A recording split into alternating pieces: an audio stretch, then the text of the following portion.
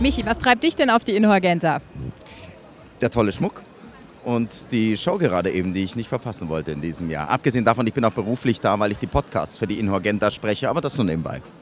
Was war denn dein persönliches Highlight heute? Mir fiel es ein bisschen schwer, mich nur auf den Schmuck zu konzentrieren, weil wenn man natürlich so großartige Roben sieht, noch dazu getragen von so fantastischen Mädels, mir wären fast ganz normale Puppen lieber, die nicht leben und nichts anhaben, wo ich mich einfach nur auf den Schmuck konzentrieren kann. Aber ich habe für, für mich einen Trend festgestellt.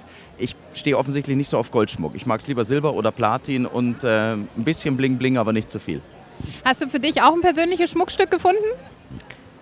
Mir hat man früher immer gesagt, Männer dürfen nichts tragen außer eine Uhr.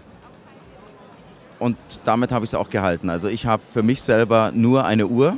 Die trage ich seit vielen Jahren, das ist immer die gleiche und ich liebe sie heiß und innig und würde sie nie im Leben hergeben und hoffe, dass sie auch nie kaputt geht. Und was Passendes vielleicht für die Partnerin gefunden? Gesehen habe ich einige Inspirationen. Ja, wie gesagt, kein Gold.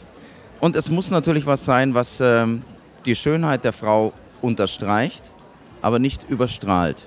Deswegen bling bling dezent, aber so ein, so ein schöner Ring oder eine Halskette, es soll nicht zu lang sein. Das habe ich auch gemerkt. Ich mag es eher gerne am Hals. Aber das aus Silber oder Platin, das sieht toll aus. Und dann noch so eine großartige Robe dazu und da kann nichts mehr schief gehen. Wie geht's bei dir beruflich in nächster Zeit weiter?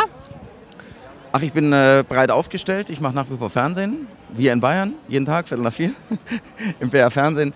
Arbeite sehr viel als Sprecher, eben hier auch für die Inhorgenta, die offiziellen Podcasts und bin als Coach und Trainer unterwegs. Das sind so die drei Standbeine, von denen ich mich ernähre.